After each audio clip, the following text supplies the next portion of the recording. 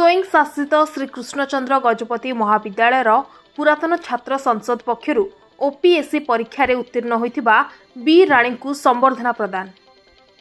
OPSC ପରୀକ୍ଷାରେ ତିନିଶହ ଛତିଶ ରାଙ୍କରେ ଉତ୍ତୀର୍ଣ୍ଣ ହୋଇଥିବା ବି ରାଣୀଙ୍କୁ ସ୍ୱୟଂ ଶାସିତ ଶ୍ରୀକୃଷ୍ଣଚନ୍ଦ୍ର ଗଜପତି ମହାବିଦ୍ୟାଳୟର ପୁରାତନ ଛାତ୍ର ସଂସଦ ପକ୍ଷରୁ ଆଜି ରବିବାର ଦିନ ଏଗାରଟା ବେଳେ ସମ୍ବର୍ଦ୍ଧନା ପ୍ରଦାନ କରାଯାଇଛି।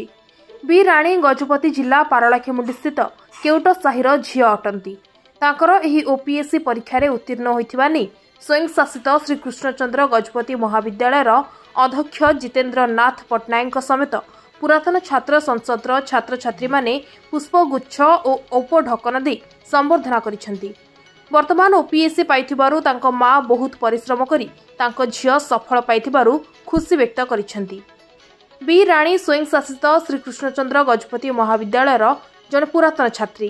ତାଙ୍କର ଏହି ସଫଳତା ପାଇଁ କଲେଜ ଓ ପୁରାତନ ଛାତ୍ର ସଂସଦ ପକ୍ଷରୁ ତାଙ୍କୁ ଶୁଭେଚ୍ଛା ଓ ଶୁଭକାମନା ଜଣାଯାଇଛି। ସେ ବର୍ତ୍ତମାନ ୟୁପିଏସ୍ସି ପାଇଁ ପ୍ରସ୍ତୁତ ହେଉଛନ୍ତି ବୋଲି ଗଣମାଧ୍ୟମକୁ ସୂଚନା ଦେଇଛନ୍ତି। ସେ କଠିନ ପରିଶ୍ରମ ଦ୍ୱାରା ସଫଳ ହୋଇପାରିବେ ବୋଲି କହିଛନ୍ତି। ମୋ ନାଁ ବି ରାନୀ। ଆଉ ମୁଁ ପଲ୍ଲାକ୍ଷମୁଣ୍ଡି ଗଜପତି ଡିଷ୍ଟ୍ରିକ୍ଟରୁ ଆସିଛି।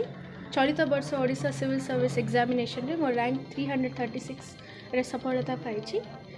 ଫାଷ୍ଟ ଅଫ୍ ଅଲ୍ ବହୁତ ଖୁସି ଅଛି ସାର୍ ଏ ଇଏଟା ଫେଲିସିଟେସନ୍ ହେଇଛି ଆଉ ଆଗକୁ ଛାତ୍ରଛାତ୍ରମାନଙ୍କୁ ଏହା କହିବି କି ଯେତେ ବି ଆମେ ଫେଲ୍ ହେଲେ ବି ଉଠିବାର ଅଛି ସେ ନେଭର୍ ଗିଭ୍ ଅପ୍ ଆଟିଟ୍ୟୁଡ଼୍ ଥିବାର ଅଛି ସାର୍ ବିକଜ୍ ଏ ଏକ୍ଜାମ୍ଟା ବହୁତ uncertain and we have to fight that's it